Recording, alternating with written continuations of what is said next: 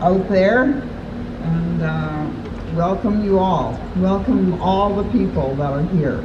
This is really, really important. And you know, I just, I heard something. I just want to tell a short story. Um, my name is Norma Jean Bird, and my Indian name is Esquio Kanipo Dwasike Kisiko.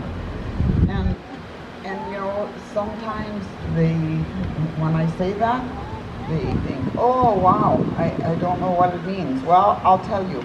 It means woman standing in the circle of the sky.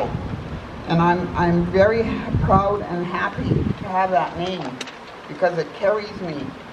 It carries me and it looks at all people.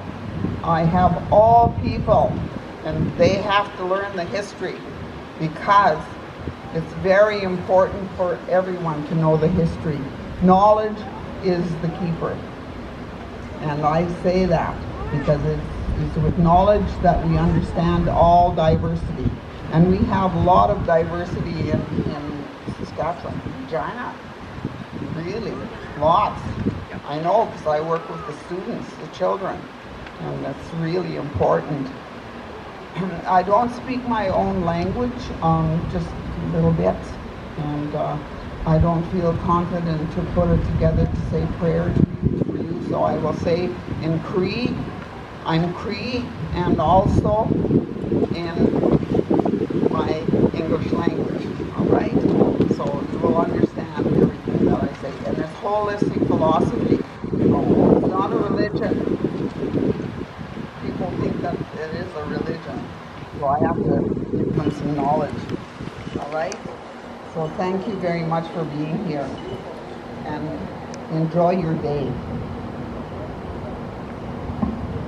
I don't, I don't, I speak real loud, but I don't use the microphone, okay? Thank you.